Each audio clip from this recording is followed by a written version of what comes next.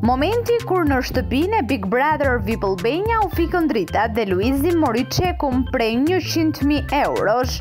Luizi më në fund bëri realitet ëndrrën e tij, të cilën shpeshherë e ka përsëritur brenda shtëpisë. Prej kohësh ai ka thënë se nëse shpallet fitues i këtij edicioni ka dëshirë të fikë dritat e shtëpisë.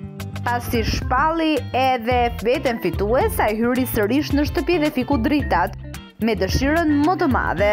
Pa diskutim që kjo ka qenë një ndër arritjet e tij më të mëdha deri më tani.